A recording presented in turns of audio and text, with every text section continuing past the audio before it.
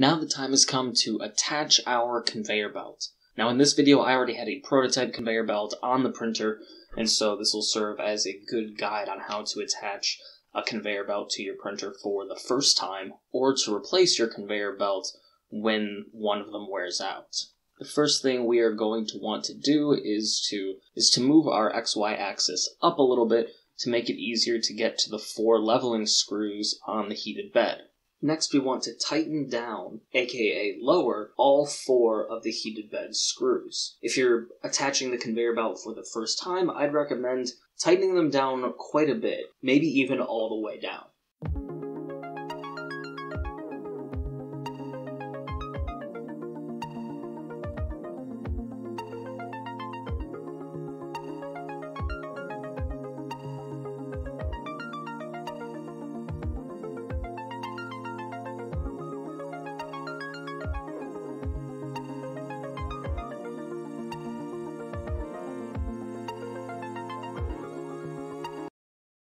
Next, roll the conveyor belt to where the seam sits in between the heated bed and the front roller of the printer. Next, I'm going to loosen up the four M5 bolts that attach to the sliding T-slot nuts on the back roller of the printer. That way, the conveyor belt loses tension and becomes loose.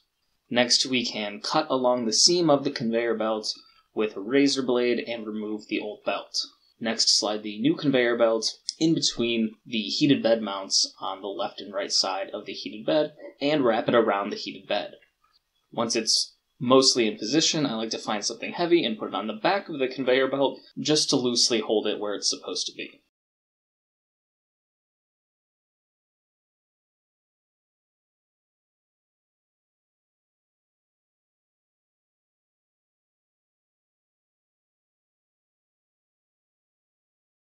Next, cut a piece of polyester tape just a little bit wider than the width of the conveyor belt. The adhesive on this tape is pressure sensitive. So what that means is in order for it to activate properly, you need to apply pressure to the tape. Here I'm doing this with a 3D printed scraper, but you can probably use a straight edge of any kind.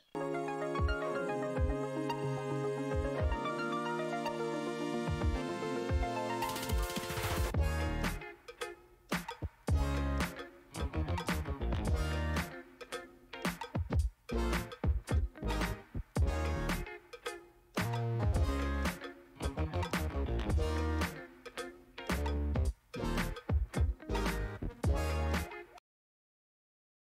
the polyester tape is connecting both sides of our conveyor belt, we can trim off the excess from both sides of the tape and start to tension our conveyor belt. I like to start with the back roller on the side closest to the power supply. I'll move back and forth between the power supply side and the control board side of the printer, adjusting until the belt becomes flat on the heated bed. However, I also like to tap on the top of the conveyor belt on top of the heated bed to look for any points that are too high and not in contact with the heated bed.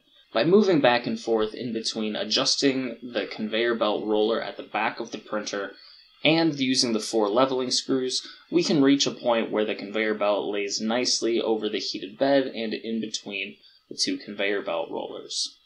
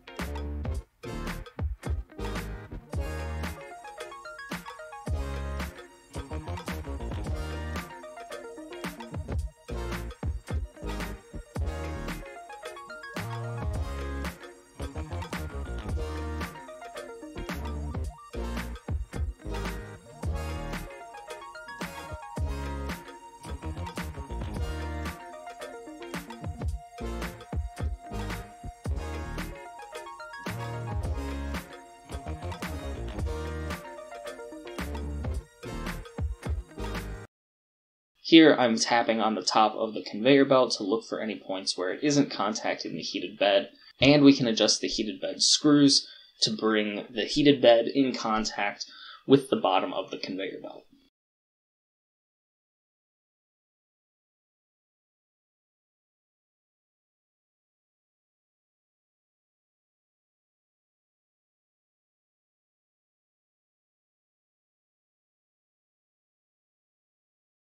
One thing to look out for as a word of caution sometimes the top of the conveyor belt can look nice and smooth, but in reality, on the bottom side of the conveyor belt, the edge of the conveyor belt is rubbing up against one of the heated bed mounts. This may not cause issues right away, but will over time and should be avoided.